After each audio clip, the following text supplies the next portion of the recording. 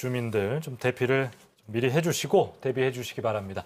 이 역대급 강한 세력으로 몰려오는 이 태풍 흰남노의 북상 철저한 대비로 어, 말씀드린 대로 피해를 최소화하셔야겠습니다. 네, 울산에 큰 영향을 미쳤던 태풍들 배윤주 기자가 정리했습니다. 주택 한 채가 강물에 떠내려가다 교량을 부수고 두동강 납니다. 강물이 범람한 태화강변은 차량들의 윗동만 간신히 보입니다.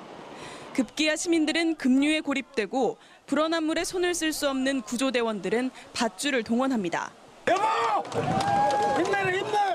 물바다로 변해버린 아파트 단지엔 차량 수백 대가 침수됐습니다. 세상에 이런 광경을 언제 보고 계십니까? 아이고야, 이 저 좀 봐라. 차 떠내려간다. 아이를 업고 가까스로 대피하는 할머니와 할아버지. 강한 물살에 몸을 피해 아슬아슬 트럭 위로 올라가는 시민. 1991년 이후 25년 만에 중구 일대가 완전히 물에 잠겼고 차반은 3명의 목숨을 앗아가고서야 물러났습니다. 2005년 태풍 나비는 622mm에 달하는 기록적인 폭우로 도심을 집어삼켰습니다.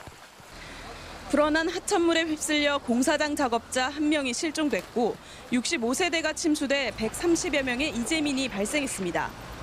중구 병영성 등 옹벽 곳곳이 무너졌고 전선도 끊어져 수천 가구가 정전 피해를 봤습니다. 한반도 역사상 최악의 태풍으로 기록된 1959년 사라호는 초속 85m의 강풍으로 울산을 관통했습니다. 무너진 전신주, 철로 위에 주저앉은 사람들, 침수된 도심이 전국적으로 98만 명의 이재민과 2,400억 원의 재산 피해가 났던 당시를 실감케 합니다.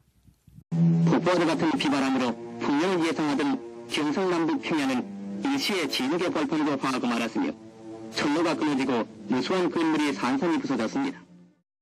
지난 2005년 이후 발생한 태풍 가운데 울산에 가장 큰 피해를 입힌 건 3명의 목숨을 앗아가고 600억 원이 넘는 재산 피해를 낸 2016년 차바였습니다. 태풍 흰남노는 차바보다 세력이 훨씬 강력할 것으로 예측돼 긴장과 대비가 어느 때보다 중요합니다. UBC 뉴스 배윤주입니다.